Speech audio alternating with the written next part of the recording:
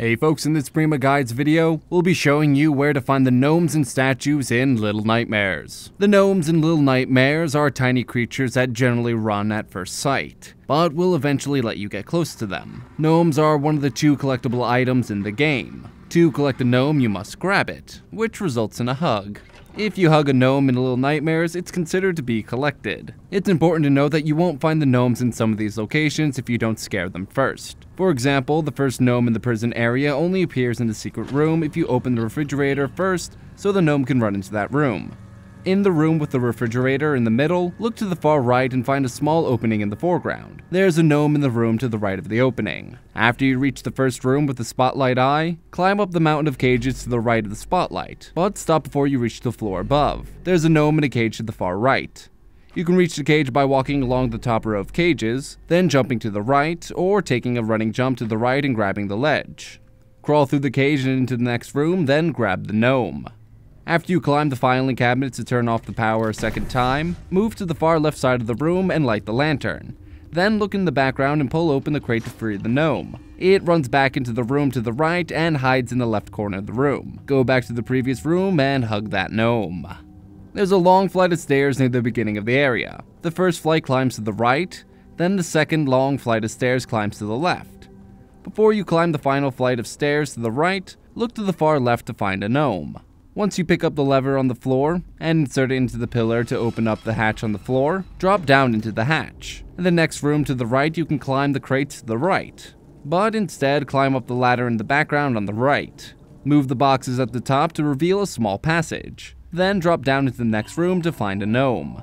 After the hallway of clocks, you'll enter a room with numerous stacks of books. Crawl under the desk on the far right side and a gnome will run away. Now head to the far left to find the gnome standing to the left of a stack of books in the middle of the floor near the left wall. You may have to move a few books to see the gnome clearly. After picking up the key, go back into the bathroom on the far right to find a gnome to the left of the double toilets. After picking up the key and heading into the elevator, instead of continuing to the right to unlock the door, go left into the pantry to find a brown jar on the floor. Pick up and break the brown jar to find a gnome. When you reach the room with the sausage maker and the lift that leads up to the freezer area, look under the table that the sausage maker is sitting on to find a gnome hiding there. At the very start of the area, go left instead of right to find a secret room with a gnome. In the room where you have to run across the top of the bar, dodging guests left and right, before you make that run, look to the far right side of the room to find a stool pushed up against the wall. Move the stool to the left to reveal a hole behind it. Crawl through the hole to find a gnome. After shattering the mirror in the bathroom and walking along the elevated pipe back to the elevator, take the elevator to the next floor, but head left instead of right. In the first guest quarter, there's a gnome about to wake up a sleeping guest. Now, you can't miss this final gnome even if you tried. When you start to get hunger pains, keep walking to the right until a gnome offers you a sausage. Unfortunately, you opt for a different kind of food, which counts as hugging the gnome. And now let's try and find the statues. The statues are usually located off the beaten path, so if you don't explore, you'll likely miss quite a few. We've broken down the location of each statue in Little Nightmares by area you'll find them in. Head up the long flight of stairs near the beginning of the game. Shortly after the stairs, there's an alcove in the background. A statue rests in the alcove. After the first area with the spotlight eye, climb up near the left side of the wall of crates. When you reach the top before you continue to the right, head to the left and through the background to find a small room with the statue. When you reach the bedroom with the suitcase in the middle of the floor, move the suitcase to the far right so you can reach the switch on the wall. Pull the switch to lower the bed in the background, then use the bed to climb up the drawers to the top, and then jump over to the shelf just above you to see the statue sitting on the shelf. After the long-armed enemy chases you into the elevator and you hide in the box, there's a toy box in the middle of the next room. To the right of the toy box is a loose plank on the floor near the toy monkey. Push the toy box away from the loose plank, then stand on the right side of the plank to drop down into the crawl space beneath the floorboards. Continue to the right, moving past the makeshift ladder that leads back to the floor above. When you can move into the background, which is a little blurry at first, look to the far left corner to find a statue you can break.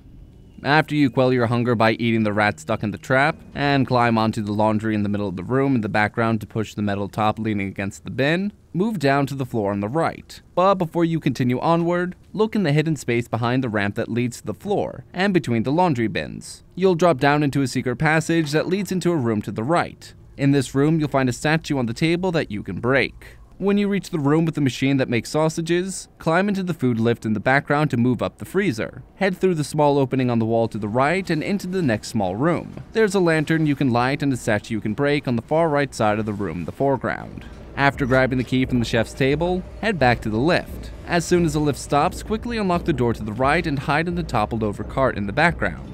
Once the chef heads into the room on the right, climb on top of your hiding place and jump to the left to open the door to the chute. Move to the left side of the room and look into the foreground to find another statue you can break.